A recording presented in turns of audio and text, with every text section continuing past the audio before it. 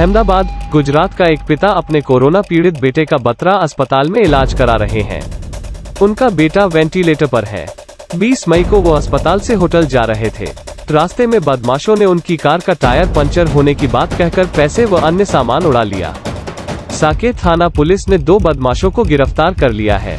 बदमाशों के कब्जे से लूटे गए मोबाइल फ़ोन, चौदह हज़ार रूपए एटीएम कार्ड, आधार कार्ड व वारदात में इस्तेमाल की गई कार बरामद कर ली है। पकड़े गए एक बदमाश के खिलाफ पैंतीस आपराधिक मामले दर्ज हैं। दक्षिण जिला पुलिस अधिकारियों के अनुसार अहमदाबाद, गुजरात निवासी रवि श्रीवास्तव बेटी प्रिया के साथ साकेत स्थित होटल शेरेटन में ठहरे हुए हैं। उनका बेटा अतुल कोविड होने के कारण बत्रा अस्पताल में भर्ती है और वेंटिलेटर पर है। वो 20 मई को बेटी के साथ होंडा सिटी कार से अस्पताल से होटल जा रहे थे। रात करीब पौने दस बजे जब वो दीपसार कॉलेज के पास पहुँचे तो बाइक पर दो युवक आए। युवकों ने रवि श्रीवास्तव से कार को रुकवा कर कहा कि उनकी कार का एक टायर पंचर हो गया है।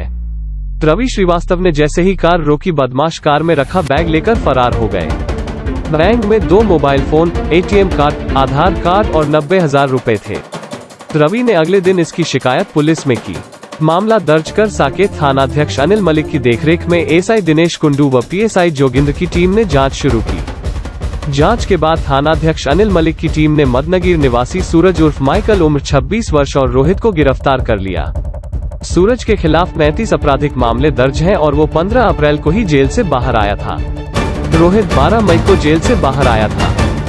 सनसनी ऑफ़ इंडिया नेटवर्क। अपने आसपास होने वाले क्राइम से सजग रहने और क्राइम वीडियो देखने के लिए Sansani of India YouTube channel को लाइक शेयर और अगर आपने हमें अभी तक सब्सक्राइब नहीं किया है तो तुरंत सब्सक्राइब करके बेल आइकॉन को भी दबा दीजिए ताकि हर क्राइम से आप रहें जागरूक।